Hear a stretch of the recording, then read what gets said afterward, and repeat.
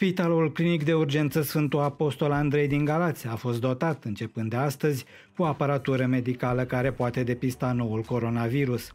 Este vorba despre un sistem real-time PCR ce poate fi folosit pentru detectarea unei game largi de virusuri, inclusiv COVID-19.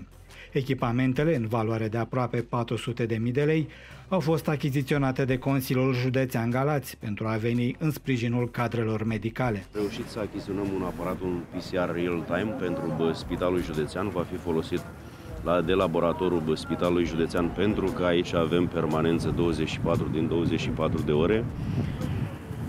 Ne bucurăm că am reușit să-l, să-l achiziționăm pentru că în momentul de față cel mai important este să depistezi, să faci cât mai multe analize pentru a elibera pe cei care doar sunt suspecți, în felul ăsta se eliberează și spațiile de carantină. Aparatul în momentul de față este unul complet, complex, adică este un aparat pe care îl folosește și Matei Balș, este un bă, aparat automat, nu este nevoie să intervină bă, să intervină personalul medical să lucreze cu bă, probele pentru a fi bă, protejați.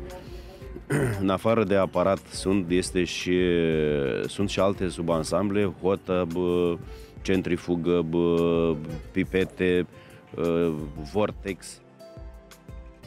Până în prezent, testele pentru depistarea coronavirusului s-au făcut la București, însă prin utilizarea noului aparat, la spitalul județean se va putea afla mult mai repede dacă un pacient are sau nu COVID-19.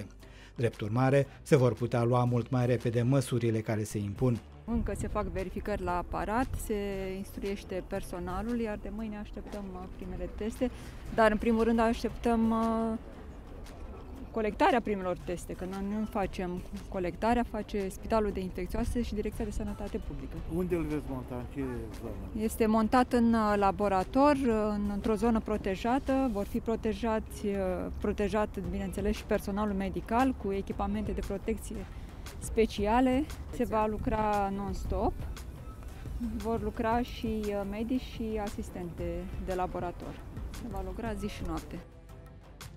Testarea cât mai rapidă a celor care sunt suspecți de infectare cu noul coronavirus este una dintre măsurile esențiale pentru a împiedica răspândirea COVID-19. În acest sens, sistemul Real-Time PCR a venit dotat cu 200 de kituri pentru efectuarea testelor, urmând ca în această săptămână să mai ajungă la Galați o rezervă de încă 1500 de kituri. Aparatul medical poate face până la 12 teste în același timp, iar timpul de analiză este de doar 2 ore și jumătate. Principiul de lucru este extracția și identificarea acidului nucleic viral, ceea ce conferă o certitudine maximă a diagnosticului.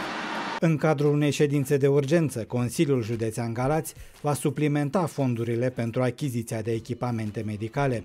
Însă problema nu sunt atât banii, cât lipsa de pe piață a unor materiale sanitare din cauza cererii foarte mari. Președintele CJ Galați, Costel Fotea, a dat însă asigurări că se vor face toate eforturile pentru procurarea tuturor materialelor necesare medicilor. Prioritatea zero pentru noi în momentul de față sunt medicii și cadrele medicale pentru că sunt oamenii din linia întâi pe care trebuie să-i protejăm. Nu s-a pus niciodată problema sumelor, important este să reușim să avem de unde să le achiziționăm. Astăzi, când vorbim, avem cu ce să facem față. Sperăm ca și pe viitor să reușim să găsim aceste echipamente pentru a proteja acești oameni. Dotarea Spitalului Județean cu echipamente și materiale sanitare este cu atât mai importantă cu cât, în perioada următoare, va deveni unul dintre principalele centre regionale în care vor ajunge pacienții suspecți de infectare cu coronavirus. Direcția de Sănătate a precizat că Spitalul Județean va primi uh, urgențele suspecte de COVID. Intenția noastră a conducerii e de a separa spitalul de ambulator și a pregăti ambulator de specialitate pentru aceste cazuri.